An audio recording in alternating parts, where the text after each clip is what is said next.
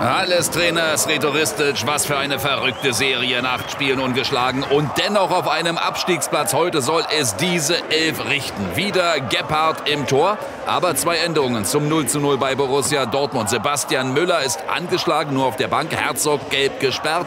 Dafür drin Tunay Dennis neben Sasa und Berko neu neben Ombladic und Zimmerschied.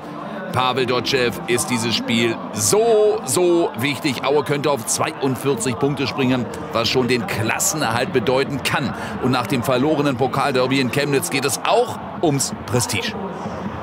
Berko kommt rein für Siaric. Das ist die einzige Änderung gegenüber dem 1 zu 0 gegen Oldenburg. Da hatte Nazarov per Elfmeter getroffen. Hinein in diese Partie. Es wurde ein verrücktes Derby. Niedfeld holt sich den Ball. Der AFC in Rot mit Ombladic. Aue in Violett. Berko, der vertändelt dafür einen Moment den Ball. Erik Berko, der lange nicht trainiert hatte. Und dann hier der Ballverlust. Jonjic übernimmt. Und dann geht's schnell über Landgraf, der den Ball absichert. Und jetzt schnell auf der anderen Seite. Hook, Stetschik, Zimmerschied. Das 1 zu 0. Sein zehntes Saisontor. Tom Zimmerschied, vierte Minute. Er ist der beste Schütze. Stetschik hebt den Blick. Er sieht Zimmerschied. Und der Winkel, der ist verdammt eng. Martin Mennel fährt das rechte Bein raus. Aber Zimmerschied schiebt den Ball irgendwie ins Tor hinein. Sreto Ristic, der perfekte Auftakt. Noch ohne Heimsieg. Ristic. Die Halle Ultras natürlich euphorisiert. Aber Aue sofort im Gegenmodus. Da ist Majeczak 1 zu 1. Sein erstes Tor überhaupt. Erik Majeczak in vier Jahren FC Erzgebirge.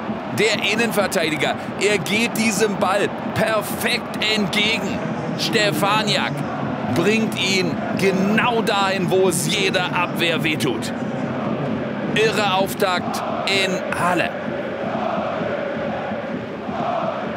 Pavel Dotschew Minimalistischer Jubel. Die Bank, sie freut sich deutlich mehr. 23. Minute. Der AFC, er brauchte dringend die drei Punkte. Zwei liegen sie aktuell hinter der Demarkationslinie. Omladic, der verliert den Ball. Jonic macht's dann schnell auf Schreck mit Übersicht. Jonic geht wieder in Position. Zentral Stefaniak. 1 zu 2. Aue dreht das Spiel. 24 Minuten erst gespielt. Vierter Saisontreffer für Marvin Stefaniak, der sich im Erzgebirge so wohlfühlt. Der Ballverlust von Omladic gegen Nazarov und Aue bringt das gekonnt perfekt zu Ende. Auch der Pass von Jonic war genau so gewollt. Wunderbar, wie der Torschütze dem Ball entgegengeht. Die beiden Bänke, die beiden Lager so dicht nebeneinander. Dotschew reagiert kaum. Ristic benötigt den Pluck, Schluck aus der Pulle. Das gibt's doch nicht. Die Führung so schnell verspielt. Kreuzer.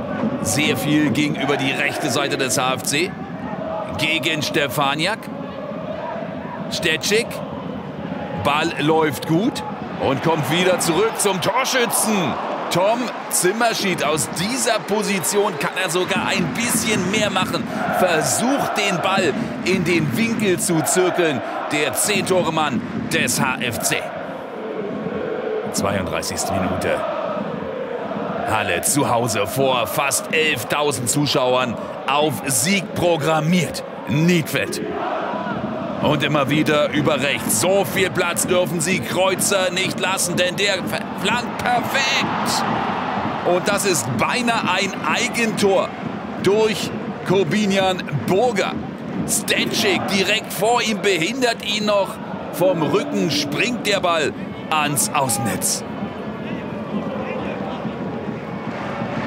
Die Ecke. Wieder natürlich Kreuzer. Und wieder wird's gefährlich. Wunderbarer Schuss von Hug. Nico Hug, ein Tor in dieser Saison. Der 24-Jährige liegt schräg in der Luft. Der Oberkörper zur Seite abgekippt. Besser kann man einen solchen Ball nicht schlagen. Noch 10 Minuten bis zur Pause. Stecic. Wieder Hook. Wieder über die linke Seite. Berko etwas zu weit vorn, aber der Ball, er ist noch heiß. Rosenlöcher kann am Ende klären. Zaza hatte zuvor geschossen. Sehr viel los vor beiden Toren. Erik Bergo nicht mit dem perfekten Timing. Zaza zieht dann ab. Stecik dazwischen. Rosenlöcher kann klären. Intensive Partie. Chancen für beide Mannschaften. Noch fünf Minuten bis zur Pause. Wieder Niedfeld, immer wieder der Aufbauspieler. Er, der die Längenbälle schlagen darf. Und dann Rosenlöcher. Und es gibt Freistoß für Aue. Sehr zur Frustration der Hallenser. Zimmerschied ist da ganz leicht dran mit der Hand. Es wäre eine heiße Strafraumsituation gewesen. Diesen Pfiff den muss Patrick Alt so nicht hören lassen. Kurz vor der Pause. Nochmal Kreuzer. Besong mit diesem Querschläger. Halle setzte nach. Berko. Dann ist da Omladic. Omladic, der ist immer drippelstark. Kreuzer. Stefaniak bleibt hängen. Und nochmal ein guter Abschluss von Dennis Martin Mennel. Es gab viel zu tun. Fingerspiele bei Sreto Ristic zur Pause. Ein 1 zu 2. Es wäre verheerend. Patrick Alt freut sich auf Hälfte 2. Und die beginnt wie die erste endete. Langer Ball. Hallenser Bemühungen nach vorn. Aber dann geht's schnell über Schreck. Besong rutscht raus, bekommt den Ball. Besong gut hinterlaufen durch Danhoff. Damit öffnet sich die Situation für ihn, für Paul Philipp Besong. Drei Tore hat er erzielt in dieser Saison. Hier kommt Danhoff angesprintet. So der Abschluss für Besong möglich. 1200 Auer im ausverkauften Gästeblock sahen die nächste Ecke des HFC. Und die ist kreuzgefährlich. Zimmerschied am Ende dran und alle bedanken sich bei Danhoff. Kreuzer, der Kopfball und Danhoff am langen Pfosten klärt er gegen Zimmerschied. Wäre er nicht da gewesen, der Ausgleich für Halle war fällig. Ecke wieder durch Omladic. Dreht schön auf. Omladic, Ball kommt schön. Aber kein Problem für Martin Menne. Sie brauchen drei Punkte. Sie brauchen zwei Tore. Sreto Ristic. Stecic. Dreht sich schön auf gegen alle. Berko. Abgeblockt. Und dann wollen sie den Elfmeter. Alt pfeift ihn nicht und das völlig zu Recht. Berko hier hebt er ab. Alles andere als ein Foul von Majeczak. Einwurf Hook, 60. Minute. Und wieder gibt's ein Gewusel vor Martin Mennel. Dennis hier mit dem Kopf, dann Zimmerschied und Burger wehrt den Angriff ab. 67. Minute. Langer Ball, direkt in den Fuß von Stefaniak. Jetzt hat er Platz. Jonic geht und Nazarov rechts, völlig frei. Der Ball zu Jonic. Und dann ist die Situation geklärt. Nazarov kann es nicht fassen. Jonic mit dem Applaus für den Pass von Stefaniok. Aber Nazarov sagt, ich war so, so frei. Hier hätte der Pass hinkommen müssen zur rechten Seite. Stefaniak unpräzise, ungenau, so verspielt Aue diese riesen Konterchance auf der Auerbank. Identisches Bild, alle emotional. Dotschew cool. Viertelstunde noch. Aue führt nach dem 1 zu 1 in Aue 2 zu 1 in Halle. Hook flankt. Dennis ist da mit dem Kopf und das ist das 2 zu 2. Kunai Dennis mit seinem sechsten Saisontor, der 29-jährige Berliner. Das 2 zu 2 Lieblingsresultat des HFC. Drei der letzten vier Spiele endeten so. Sehr schöne Flanke von Hook. Wunderbar geht Dennis zum Kopfball. Sein zweiter Kopfballtreffer in dieser Saison. Rosenlöcher ist nicht ganz dran. Sreto Ristic er stand eins hinter dem magischen Dreieck beim VfB Stuttgart in Bundesliga 1 hinter Balakow, Bobic und Elber. Und jetzt erlebt er diesen magischen Moment und er will mehr. Sreto Ristic, drei Punkte sind nötig für den Klassenhalt. Stefaniak. Nazarov.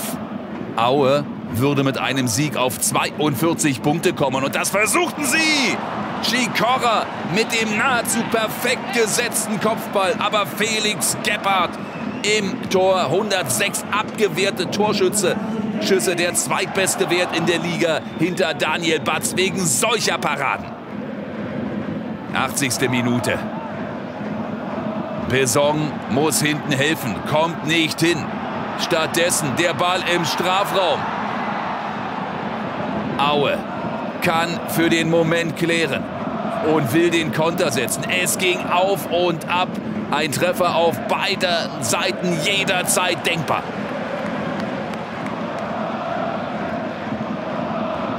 Dann dieser Ball.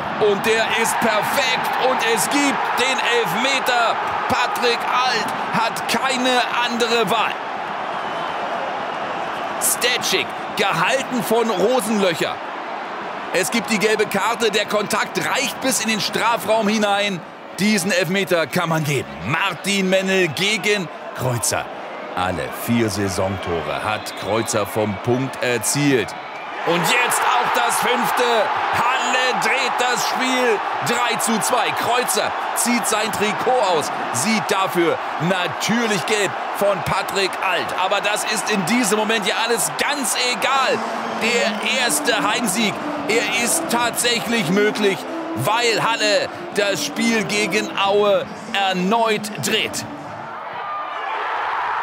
Zwei Auswärtssiege stehen da, sechs Unentschieden und jetzt der erste Heimdreier. Es ist noch lange nicht Schluss. 87. Minute. Stefaniak mit dem Einwurf. Danov hat den Ball.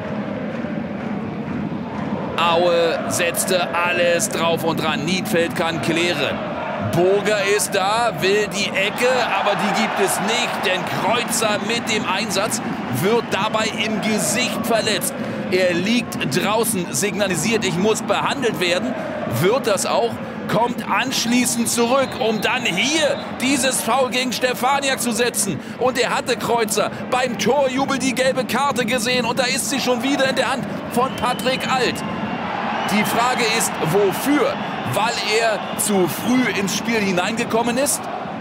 Das lässt sich auch nach dem Spiel nicht aufklären, aber klar ist hier auch gelbwürdig dieses Foul, dieses Halten gegen Stefaniak, der in den Strafraum gezogen ist.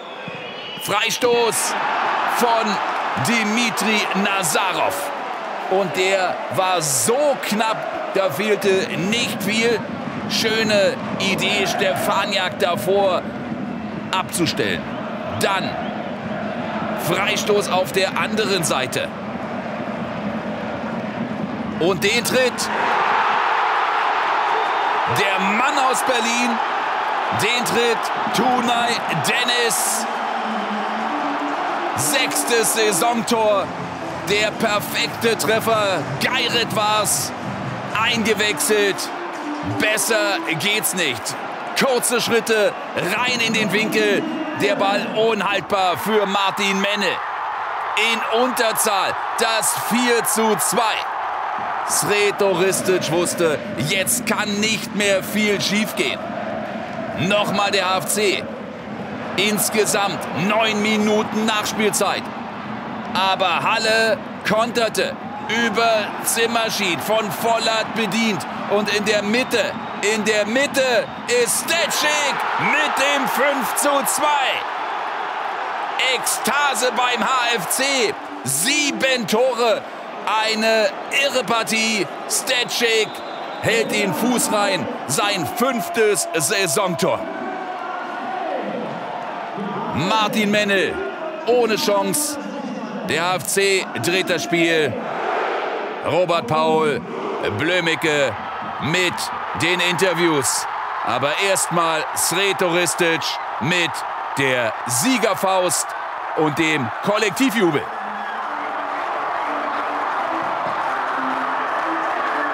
Welcher Gegentreffer wurmt Sie heute am meisten? Alle natürlich. Was, was hat jetzt äh, welche Treffer? Natürlich ärgert mich auch. Wir haben auch bis zum 80. Minute 2-1 geführt.